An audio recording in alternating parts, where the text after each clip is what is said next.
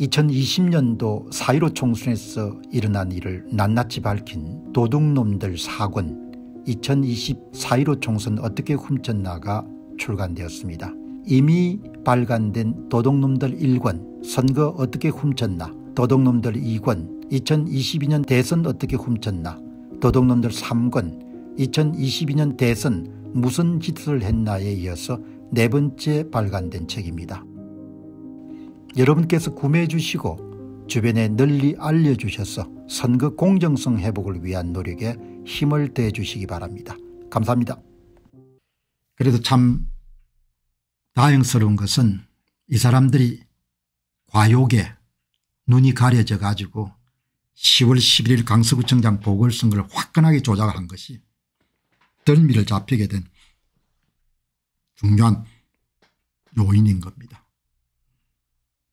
그렇게 화끈하게 조작했기 때문에 예, 이렇게 여러분들 2022년도 강서구청장 보궐선거에 비해서 현저하게 뭐죠 차이값 그래프가 커지는 그런 일이 발생하게 됩니다.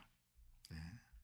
그래서 여러분들 조작하지 않았을 때하고 조작했던 데가 이렇게 크게 차이가 나는 겁니다. 김재시 부항군은 조작을 안 했지 않습니까 예. 더욱 쇼킹한 것은 국민들한테 사기를 친 겁니다. 국민들에게 가짜 사전투표를 발표한 겁니다. 그런데 이게 첫 번째가 아니라는 이야기입니다. 가짜 사전투표를 투표자 수를 발표한 겁니다. 예. 엄청나게 큰 일인 거죠. 이거는 뭐 용서받을 수 없는 겁니다. 국가의 공적기관이고 헌법기관에 해당하는 선거관리위원회가 실제 사전투표율과 다른 가짜 사전투표율을 발표한 겁니다. 가짜 사전투표율을 발표한 겁니다. 마치 진짜처럼.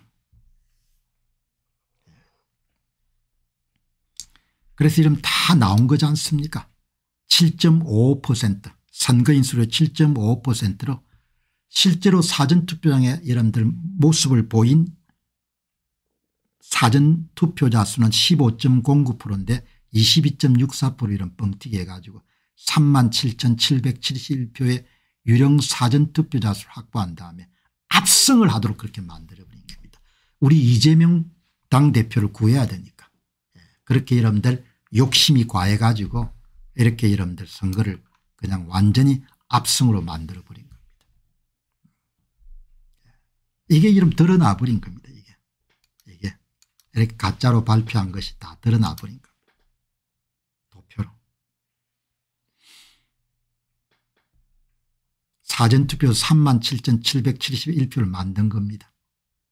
누구를 위해서 더불당 후보를 위해서 이런 짓을 한 겁니다. 이 죄를 어떻게 앞으로 갚을 겁니까 그래 가지고 이거를 뭐죠 전산 프로그램을 가동해 가지고 사전투표가 여러분들 1일차 2일차 진행될 때이 예, 표를 쑤셔 넣어준 겁니다. 예, 그래서 오늘은 강서 보궐선거의 다섯 번째 사례로 우장상동 예, 우장상동에서는 뭐죠 2426표를 집어넣어 준 겁니다. 투표장에 직접 여러분 나왔던 사람은 4852명밖에 안 되는데 선거관리위원회가 7278명이 우장상동에서 관내 사전투표를 했다 이렇게 발표한 겁니다. 2426표를 넣어준 겁니다. 전산상으로 넣고 나중에 위조투표를 집어넣은 거죠. 여기 3분의 1은 예, 세 장당 한 장의 가짜 투표지가 들어간 겁니다. 세 장당 두 장이 진짜 투표지라는 이야기죠. 예. 예. 여러분 강조한 바와 같이 진짜 진짜 가짜 진짜 진짜 가짜 진짜 진짜 가짜 이렇게 이런 표를 집어넣은 겁니다. 예. 사전투표장 이명마다 예, 위조투표지 한 표를 투입한 겁니다. 예. 그리고 이 위조투표지 2426표는 전부 다 더불당 후보한테만 더해지게 됩니다. 국힘당 후보는 손을 안 댔습니다. 2426표를 대준 겁니다. 그래서 여러분들 보시게 되면은 예 이건 대략적인 수치입니다. 예.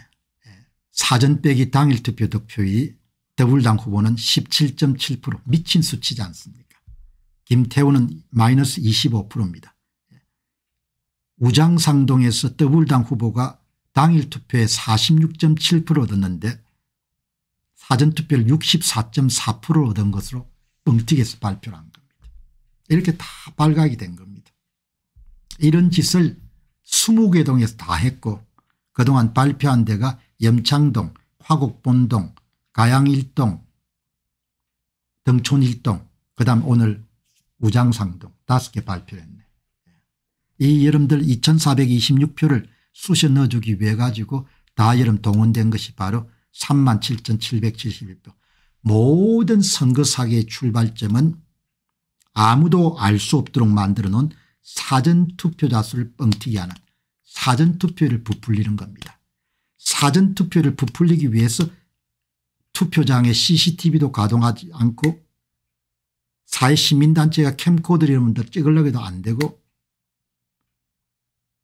사전투표 신분증 이미지는 즉시 삭제해버리고 선거인 명부는 없고 통합선거인 명부를 가지고 마음껏 조작을 하는 겁니다.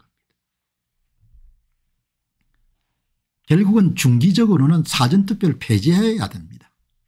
예. 단기적으로는 인쇄 도장 날인을 금지시키고 개인 도장 찍고 그다음에 이번에라도 사전투표자 수를 개수해야 되는 겁니다. 투표소 레벨에서. 그렇지 않으면 이 범죄를 막을 수가 없는 겁니다. 이 정도가 알린데도 불구하고 대한민국이 자정 능력을 상실해 가지고 선거 문제를 고칠 수 없다. 그렇게 하면 그거는 뭐 망조가 드는 거다 이렇게 볼 수 있는 거죠. 예. 여기 보시게 되면 잘 적어놨지 않습니까 투표지 한 표 투표지 한 표 가짜 투표지 한 표 투표지 한 표 투표지 한 표 가짜 투표 한표 예? 진짜 진짜 가짜 진짜 진짜 가짜 이렇게 여러분들 프로그램을 돌린 거.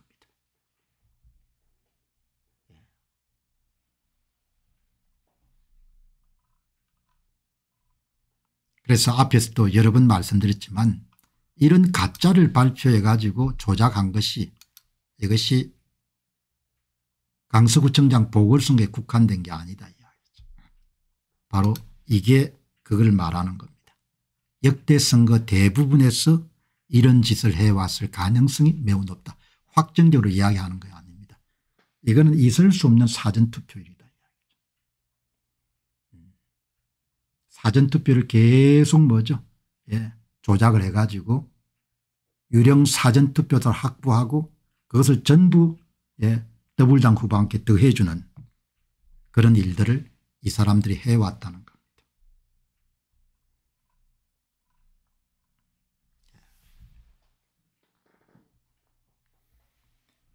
자 그래도 여러분들 용기 잊지 마시고 왜 그런가 하니까 상당히 이제 많이 접근했거든요. 예. 사실을 이길 수가 없지 않습니까 윤 대통령이 이걸 덮을 수 있겠습니까 나는 못 덮을 거라고 봅니다. 예. 이걸 덮기가 힘듭니다. 예. 이거를 왜 덮을 수 없는 거 하니까 사실과 진실은 사향한계와 같아 가지고 그 사향한계가 굉장히 멀리 퍼진다고 하지 않습니까 그거를 아무리 꽁꽁 싸더라도 숨길 수가 없어요. 이거는 윤 대통령 자체도 숨길 수가 없는 겁니다. 예, 그분들도 앞나라 알 수 없는데 선관위 사람들도 이거를 못 숨깁니다. 예, 이거는 매일매일 알아가는 사람이 늘어날 수밖에 없는 겁니다.